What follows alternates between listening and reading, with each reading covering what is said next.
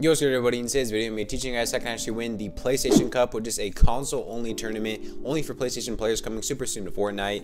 Real quick before this video starts though, please subscribe to the channel if you're new. We're trying to hit 21,000 subscribers by the end of the month. We're getting closer and closer every single day. I appreciate every single new person that's subbed to the channel. If you guys want to support me even more, use by using code Kdog Without further ado, let's get straight into this video. Alright, so honestly, the PlayStation Cups are a lot more difficult than people really think they are. So in today's video, I'm going to be trying to give you guys my best tips on how to qualify for round 2 and actually make money in them. So if I'm being completely honest, you're going to need to be a good fighter to actually be able to make it to round two because only the top 100 people from round one actually qualified to round two. So basically, if you read the uh, details for it, all it says is this event will occur across two rounds with the top 100 players advancing for round two, and that's pretty much all it says. So pretty much for your first game, you're not going to be in the lobby with the best people, especially if you're on a next gen PlayStation. Being on old gen, it's still possible to qualify, but it's going to be a lot harder. So I recommend you're on a next gen console if you're going to be like playing this and really trying to win money in it. So for your first game, you're going to need at least like an 11 plus elimination elimination win. I say that's a pretty decent start. If you're able to get anything over like 15, that's a really good first game.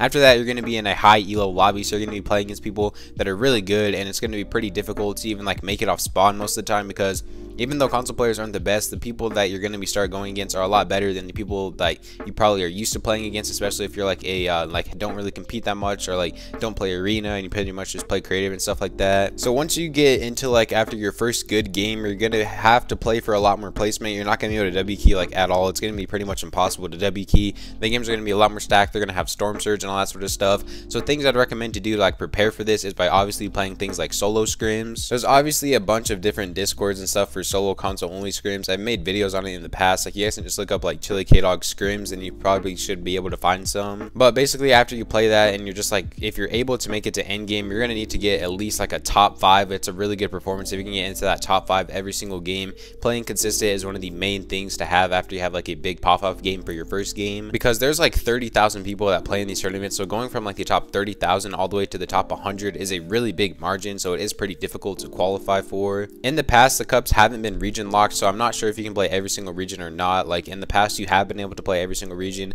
but now I'm not sure if they changed it. And a good thing though is there's going to be PlayStation Cups every single month all the way until June. So if you're not able to like perform well in this one or even like play it in general, you always have um, next month, and it's going to be going like for the next six months. So that's a long time for these cups to be happening for. But if you are able to make it to round two, then pretty much you'll be able to make money. You can only make money in round two, and depending on your region is what place you actually need to get to make money. So like what you want to do to actually check like what place you need to get is to make money is you want to go into the compete tab go to the playstation cup and then go to like the second round tournament for it and then you just want to click on it and then click prizes and rewards. You want to push r2 on your playstation controller and then you can see like how far it goes to make money. So like for me i'm a west player so you need to get top 64 to actually make money and the only difference between round one and round two is I'm pretty sure, yeah, every single elimination is two points in round two. So eliminations are worth more, but they are also a lot harder to get because obviously you're facing the best PlayStation players on your region. So other than that, that's pretty much all for today's video. If you guys enjoyed the video, please subscribe to the channel if you're new. Use code KDOG9 shop and support me even more.